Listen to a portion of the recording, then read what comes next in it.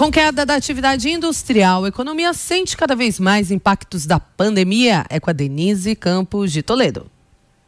A economia brasileira vai contabilizando os impactos da pandemia. A produção da indústria já caiu 9,1% em março, mês parcialmente atingido pelo isolamento social.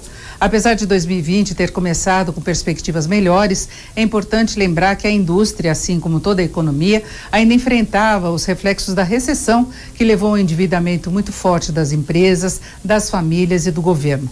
Para que não haja um agravamento dessas condições agora, Renato da Fonseca, gerente de pesquisa pesquisa e competitividade da CNI, a Confederação Nacional da Indústria, vê necessidade de uma maior eficácia das medidas emergenciais do governo, com gastos que possam produzir resultados do ponto de vista da preservação de empregos e atividade, sem perder o foco na reestruturação da economia. A gente tem que evitar um crescimento muito forte do desemprego e uma queda também muito forte da renda.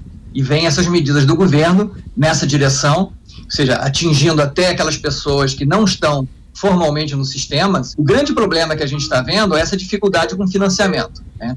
Houve é, um aumento do volume de crédito na economia, ou seja, o Banco Central fez um, um, um processo muito forte de aumentar a liquidez, isso deu resultado, só que ainda temos, é, principalmente as empresas pequenas e médias, com ainda muita dificuldade de atingir ao crédito a liberação de crédito é uma das medidas mais importantes para sustentar a atividade das empresas. Apesar da nova redução dos juros básicos prevista na reunião de hoje do Copom, do Comitê do Banco Central, Marcos Rosa, economista-chefe da XP Investimentos, ainda prevê gargalos para os recursos chegarem na ponta final em condições mais favoráveis.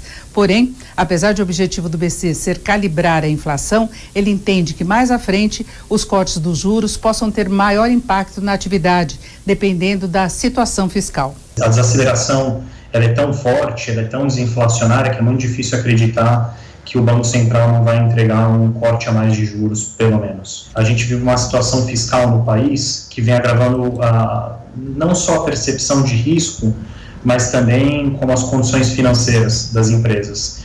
É, né, a elevação de risco faz com que o Brasil fique é, percebido como um país mais arriscado, as empresas são percebidas como mais arriscadas.